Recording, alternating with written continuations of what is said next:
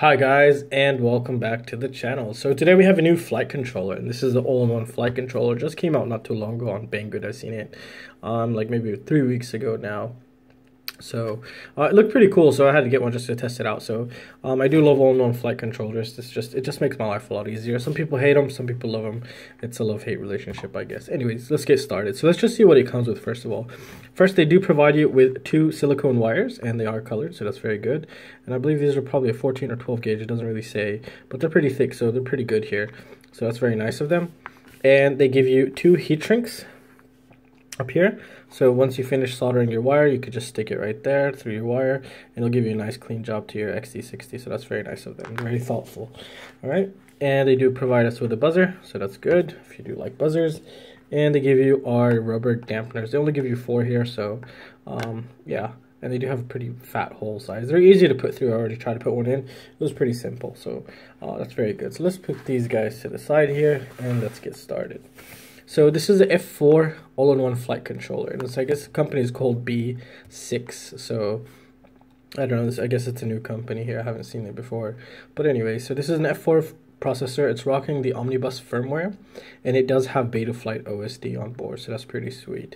Um, as you can tell, it is an all-in-one flight controller, and does have current sensing, so that's pretty cool. It does take a 2 to 6S LiPo, and well, let's just take a look at it here.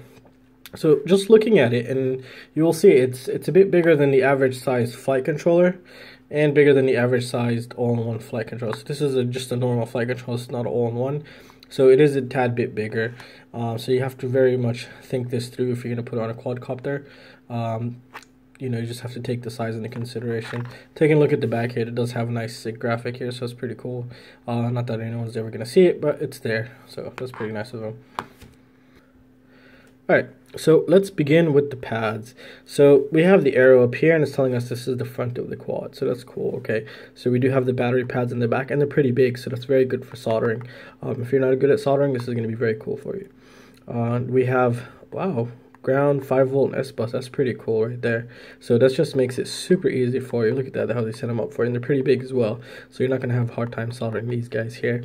So we have S bus here. And we have motor 1, two, three, four. So that's perfect Betaflight orientation. You would ground here, signal here, and your positive here. That would go to your ESCs. So that's nice. We do have a USB, which is mandatory now, and we have a boot button right there. So this is version 3.6. I've never seen version 1 or 2 before, so uh, that's something to know. It does have these cutouts here that I have no idea what they're for. Are you supposed to put like a battery strap through here if you had to? Uh, but uh, I would never do that. Just rip component off. So maybe they have some kind of use, but uh, I really don't know what it could be. Maybe ventilation to keep it cool or something. But yeah. Anyways, so let's go up here because there isn't many pads up on this guy. All right. So if we take a look here, we have UART TX3. So that's UART3 right there. So we have TX3 RX3 and a 5 volt if you need it. So that's pretty cool. We have another 5 volt, we have a ground, and we have a VCC. So this is a VCC right here. Now, if we take a look down here, we have ground out, which is video out. This would go to your VTX. In, this is where your yellow line, yellow wire from your camera would come in to this, pop through the OSD, pop right out of your VTX right there and then we have another ground. So this is ground as you can see right there. And this is UART6 as you can see RX6 and TX6 and here we have a buzzer negative. So hmm okay I got it. So the buzzer buzzer negative here and then you apply positive here from one of these pads. So you would have your buzzer something like this because I guess once the negative side switches, that's when the buzzer goes off.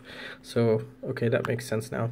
All right, and what else do we have here? We do have a current sensor, and that's really it. It's pretty basic. So let's just get its size, its dimensions here, because I think the dimensions are very important for a lot of people, and um, especially if you're going with a frame that's pretty tight. So we have 49.3 millimeters in width here okay or 49 and here we have also 49 so it's 49 by 49 49 by 49 the the length the length and the width here.